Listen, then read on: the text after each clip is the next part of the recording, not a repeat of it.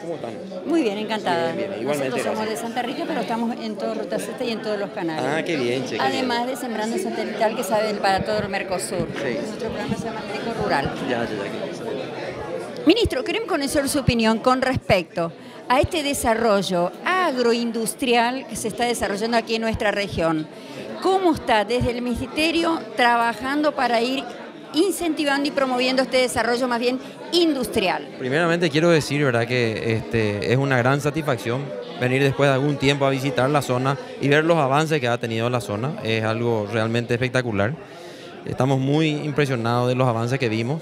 Nosotros estamos ayudando desde el Ministerio de Industria y Comercio con diversos productos, si podemos llamarlo así, que son apoyos o incentivos a la producción. Nosotros queremos que todos los productos que, que dé el agro, ¿verdad? todos los productos que pueda dar la ganadería, que estos productos al final ¿verdad? puedan verse este, industrializados en nuestro país y se agreguen a una cadena de procesamiento, cadena que da mayor cantidad de mano de obra y da mayor valor agregado a nuestro producto. Hemos aprobado la semana pasada nomás este, varios proyectos eh, de industrialización de, de- de- granos, tanto silos ¿verdad? como este, eh, eh, proyectos industriales y también este, hemos aprobado ¿verdad? proyectos donde se hace forraje y este, permite así eh, dar eh, en la cadena de, producción de, de cerdos, permite dar alimento balanceado y que esto termine en una cadena al final industrial.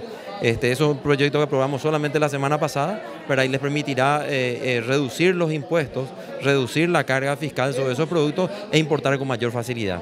Y bueno, y hablando de otros lugares, por ejemplo, eh, siguen trabajando con los clústeres, eh, la ley de maquila está vigente. Totalmente está vigente, tenemos varios proyectos ya la semana pasada, este, eh, con mucho gusto hemos firmado un convenio donde se va a capacitar conjuntamente de parte del Ministerio de Justicia y Trabajo y Ministerio de Industria y Comercio, ¿verdad? permitiremos el establecimiento de una empresa que va a capacitar a mil empleados en una primera fase y dos mil empleados más en una segunda fase, que van a ser empleados que van a trabajar en una planta que va a producir todo el cableado y las cajas eléctricas para este, dos empresas muy grandes de, de- de automóviles que son Kia y Hyundai. Todo esto al final va a terminar ¿verdad? en línea de ensamblaje en el Brasil, lo que nos permite indicar a nosotros que nos estamos integrando ¿verdad? a cadenas industriales muy grandes, muy fuertes, ¿verdad? y somos parte ¿verdad? de un mundo globalizado, podemos dar mucho con nuestra mano de obra, podemos dar mucho con nuestras capacidades que tenemos y en ese sentido el Ministerio de Industria y Comercio no vamos a catimar esfuerzo.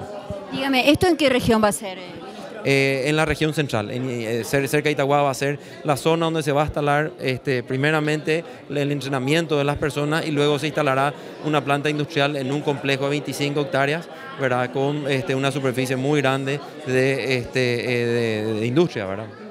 Y bueno, y conocemos que en el Alto Paraná también existen varios parques industriales que aún no están desarrollándose. ¿Cuál es el motivo? Oh, sí, se están desarrollando. Bueno, yo hace muchos años que tal. Bueno, ese, eh, ¿cuáles son los incentivos, pensando un poquito más allá de la frontera, de aquel que quiere invertir y elegir, elegir a Paraguay como inversión para venir aquí y poner industria y demás? Ministro, usted tiene las palabras para aquella gente. Sí, en, primer lugar, el gobierno ofrece algo que es muy eh, un factor esencial para cualquier este, eh, inversión, que viene de afuera sobre todo, porque nosotros conocemos nuestro país, que es seguridad jurídica.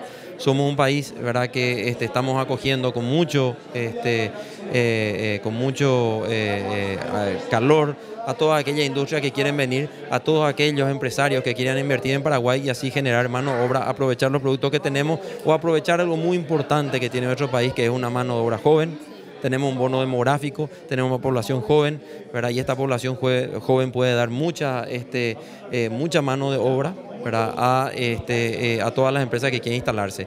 En la región de Alto Paraná y en la región de Itapúa, sobre todo en Alto Paraná tenemos eh, ya zonas establecidas donde, que se están desarrollando y que aprovechan básicamente otras herramientas que tiene el gobierno como es la ley de maquila, que les permite producir bajo el régimen de maquila ¿verdad? y con los incentivos fiscales que tiene eso, producir para otros, para otros países como ser el Brasil o la Argentina.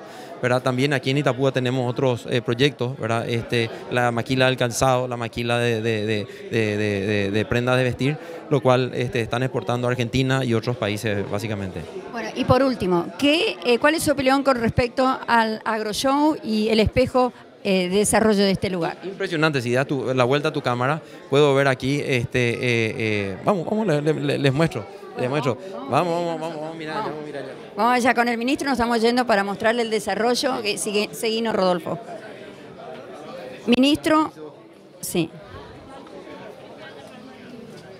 Bueno, aquí va. ¿Dónde está el presidente? El presidente que nos va a comentar. Esta máquina es... Eh, pre- presidente, el ministro quiere hablar con usted aquí delante de cámara. Un segundo. dale. Comentarnos, ¿cuál es la máquina que se está produciendo hoy totalmente en Paraguay? ¿Cuáles herramientas agrícolas se le da un proceso industrial en nuestro país y que permite este, eh, dar mayor mano de obra y capacidad de trabajo a la gente? Hay pulverizadora, hay máquinas de embolsar granos, hay arrastra, hay máquinas para esparcir calcario. Son, son muchas eh, eh, las alternativas que tenemos fabricadas acá en Paraguay, Sí. cosa nuestra. Por eso apoyamos siempre la, la industria nacional para adquirir cosas que nosotros mismos producimos. Y, nosotros, y nosotros apoyamos, por supuesto, también, señor presidente. Sí es. Muchas gracias. Muchas gracias. Gracias Gracias, presidente. Vamos, vamos. Permiso. Gracias.